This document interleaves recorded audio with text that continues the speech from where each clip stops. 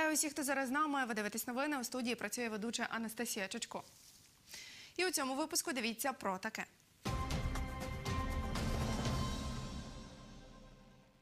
Від вчорашнього вечора люди стояли у чергах біля двох банків Тернополя. З чим це пов'язано? Вдруге прооперували 17-річного Євгена Данилюка з-під Гаєтчини. У нього переломи черепа після того, як його побив знайомий. Мешканці п'ятиповерхівки у Борщові, де потріскали стіни в квартирах, два роки просять владу відремонтувати будинок.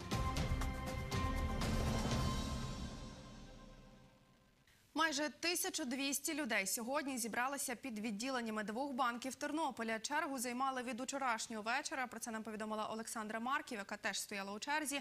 За її словами, це люди, які хочуть оплатити оформлення робочих віз. За словами начальниці відділення одного із банків Світлани Хорощак, сьогодні банки вперше після карантину приймають цю оплату. З людьми, які стояли біля відділень, спілкувалась наша знімальна група. Ми знаходимося на вулиці Богдана Хмельницького. Тут біля одного із банків зібралися люди. Вони стоять у черзі, щоб заплатити за візи. Біля відділення банку Юрій Чупровський. Чоловік каже, він приїхав із села Угринів Підгаєцького району у черзі із п'ятої години. Розповідає, що веде список людей, які стоять у черзі. Ну, Так як я в черзі 83-й, то я рахую, що ще мінімум треба 3-4 години.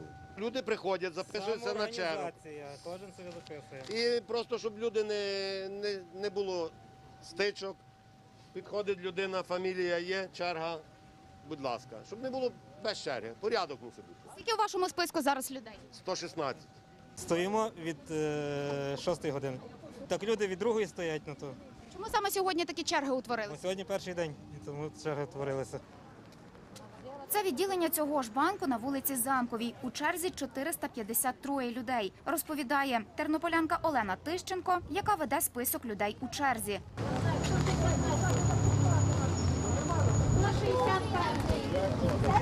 Жінка каже, що люди почали займати чергу ще від учора. Олена Тищенко тут стоїть з 6.30. З самого рання люди записувалися ще з вечора. Е, От я 157 на списку. Записалося 453 людині. Ну багато людей що роблять? Пишуться в одному банку, в другому, третьому і так от путають все. Мерзнемо, холодно, ну що зробити? У вас кінцевий список чи Ні, ні, в мене начало, а кінцевий я тільки що видала тобі. 453 людини. Директорка відділень цього банку у Тернополі Світлана Хорощак ситуацію прокоментувала так.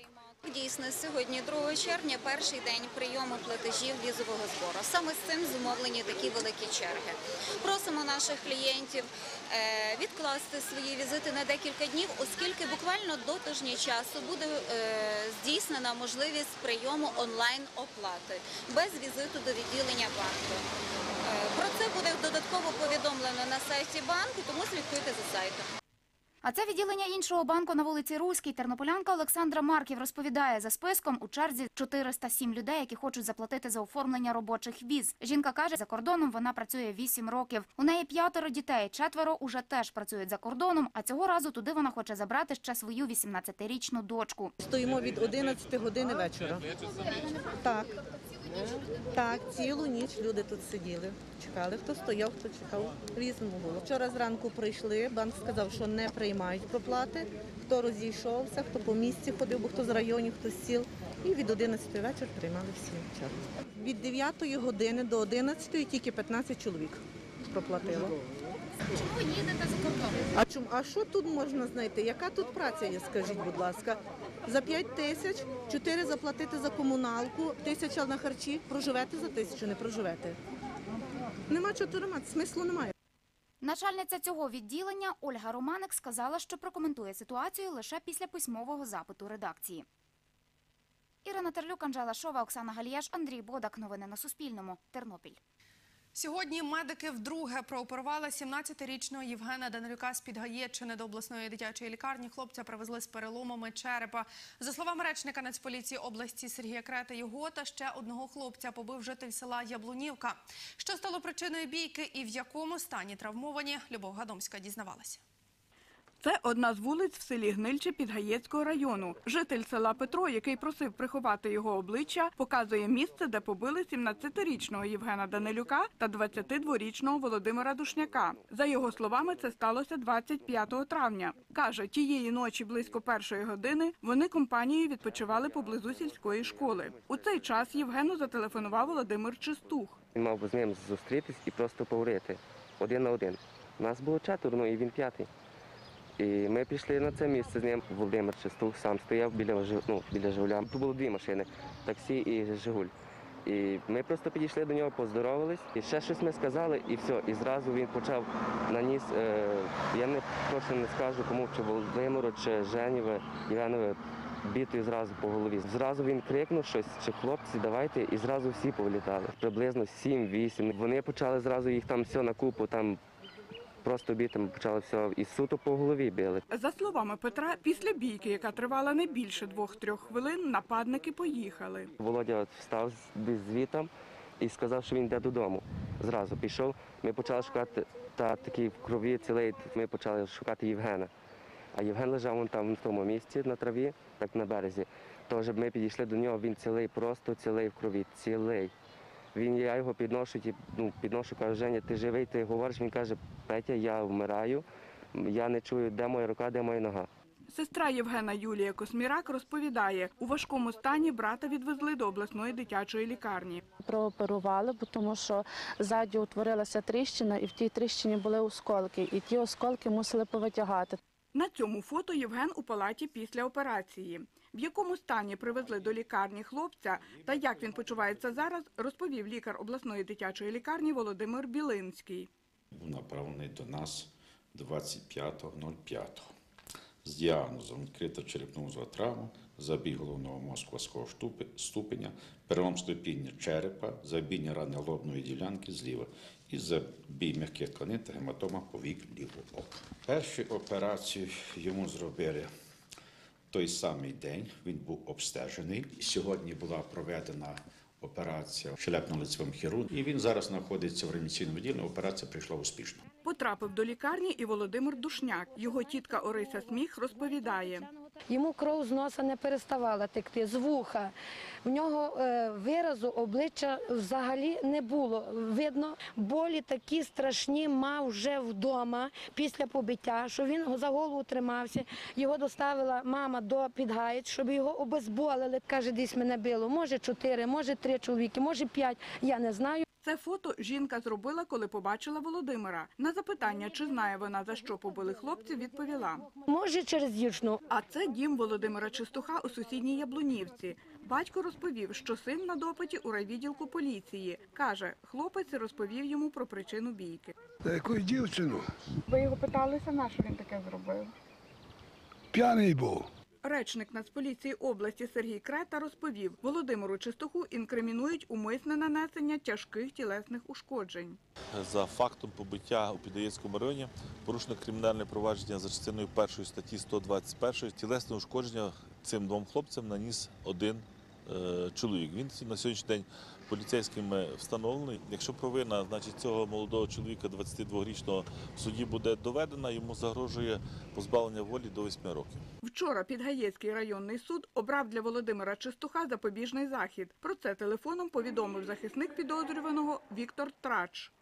Суд виніс ухвалу вчора, згідно якої задоволив клопотання в селі начальника слідчого відділення Підгаєцького відділу поліції і взяв під варту мого підзахисту Чистака Володимира сроком на 60 діб без права застави. Вчора його відправили до Чортківського СІЗО. Буде він перебувати під вартою з 1 червня 2020 року. Термін закінчується 31 липня 2020 року. За цей час буде проходити досудове слідство, по якому необхідно провести велику кількість судових експертиз.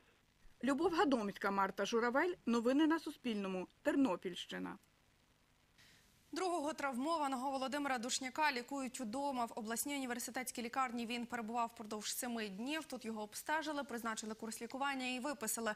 У медичній довідці вказали діагноз. Відкрита черепно-мозкова травма, забій головного мозку легкого ступеня, перелом черепа, перелом кісток лицевого скелета і забої. Про це нам розповіла мати хлопця Марія Душняк. Мешканці п'ятиповерхівки у Борщові звернулися до Міністерства розвитку громад, облдержадміністрації, прокуратури та міськради, щоб їхній будинок відремонтували. За словами мешканки будинку Марії Ільчук, стіни будівлі потріскали, є тріщини і в квартирах.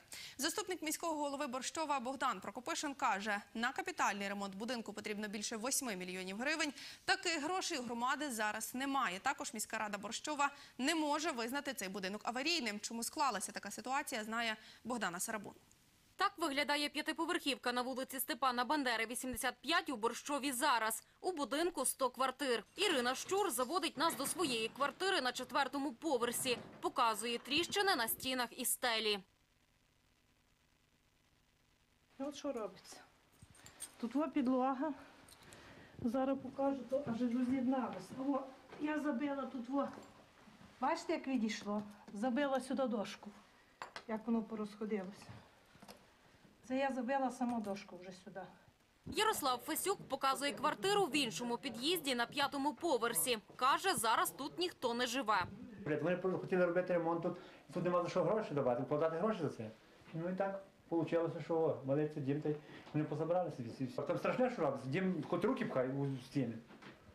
Керамзит згорить, керамзит згорить, просто падає, тако просто падає цілий в туалеті, цілий тако, цей, ну, відро керамзиту нападало з того стреху.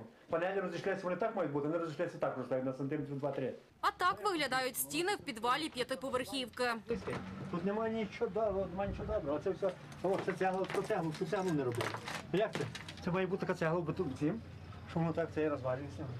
За словами мешканки будинку Наталії Белюх, дім побудували наприкінці 80-х років. Каже, тріщини з'явилися вже тоді. Пам'ятаю, що теж я була не знаю в якому класі, коли нам прийшло, що будинок визнаний аварійний, роздали такі е, невеликі нам повідомлення, запропонували переселитися в лісову пісню. Марія Ільчук каже, мешканці будинку за два роки написали 15 звернень до народних депутатів, місцевих і обласних органів влади. Вона показує відповідь від облдержадміністрації. Обласна державна адміністрація пропонує у разі потреби Борщівській міській раді провести обстеження багатоквартирного житлового будинку та за результатами прийняти рішення про визнання названого будинку аварійним. До мешканців будинку приїхав заступник міського голови Борщова Богдан Прокопишин. Він розповів, що у 2017 році на замовлення міськради Тернопільська архітектурно-будівельна корпорація почала виготовляти проєкт капітального ремонту будинку. Виділив кошти на перший етап проекту. Це є 840 тисяч в 2017 році. Ми зробили примусову відведення каналізаційних вод. Поставили нову каналізаційну систему. Там, там і з того боку ми поставили 2 листопада 2017 року маяки. Тріщини вже починаються менше. На даний момент грошей в такій кількості, як проект е, першочергово був е, об'ємом 8 мільйонів гривень без ПДВ. У нас коштів таких немає. Ми можемо співфінансувати, ну все ми не можемо потягнути. Визнати е, самостійно, що це є будинок аварійним, ми не можемо, тому що ми не маємо таких прав. Також, за словами Богдана Прокопишина, міська рада найняла підрядника, який почав заливати відмостку навколо будинку та робити водовідведення.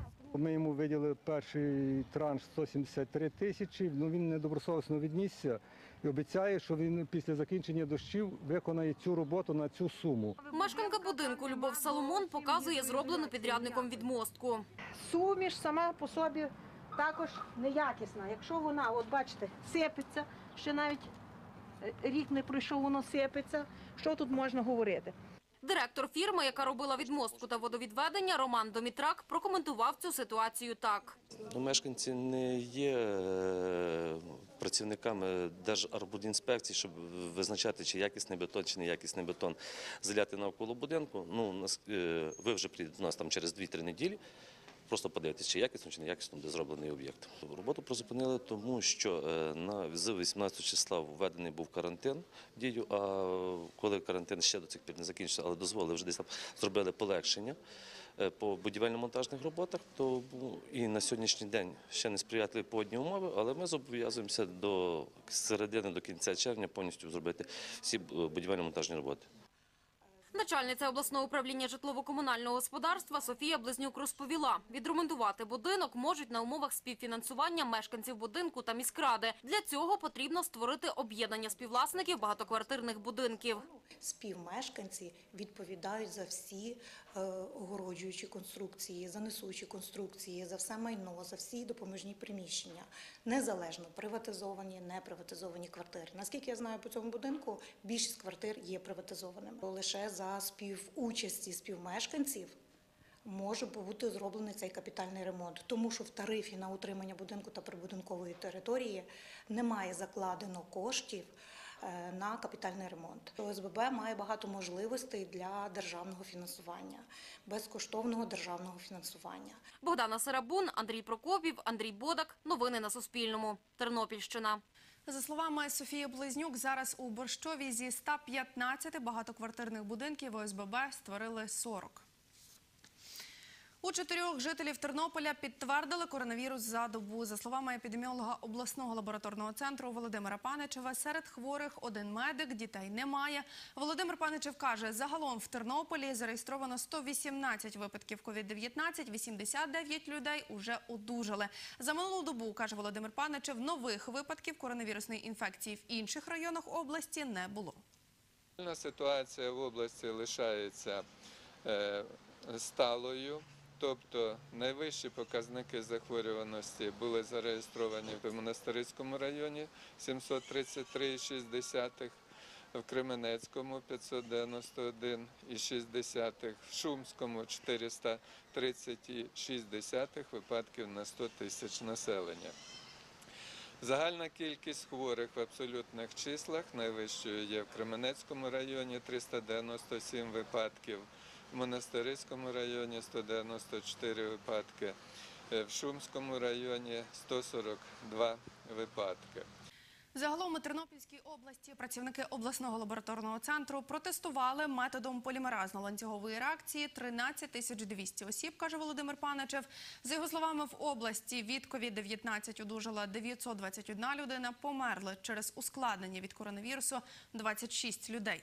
На сьогодні статистика по районах виглядає так. Як сказав Володимир Паничев, найбільше випадків COVID-19 зафіксували у Кременецькому районі 397, 247 людей там вже одужали. І найменше випадків COVID-19 на Тернопільщині було зареєстровано у Бережанському та Зборівському районах по троє людей. На сьогодні усі вони здорові, каже Володимир Паничев. В Україні за добу коронавірус підтвердили у 328 людей. Загалом, як повідомив міністр охорони здоров'я Максим Степанов, на сьогодні у нас 24 тисячі 340 лабораторно підтверджених випадків COVID-19. Із них 10 тисяч 78 пацієнтів вже одужали, померли 727 людей. На цій карті ви бачите, скільки випадків COVID-19 виявили у кожній області України. Найбільше у Чернівецькій – 3410 людей. Далі йде місто Київ – 3071 випадок. І на третьому місці Рівненська область – 1823 випадки. Тернопільщина сьогодні на восьмому місці – 1180 випадків вона зареєстровано. І найменше у Луганській області – 47 випадків. Це дані з підконтрольної Україні території. Такі новини на сьогодні. Дякую, що були із нами. Бажаю вам цікавого вечора і лише хороших новин. До зустрічі на Суспільному.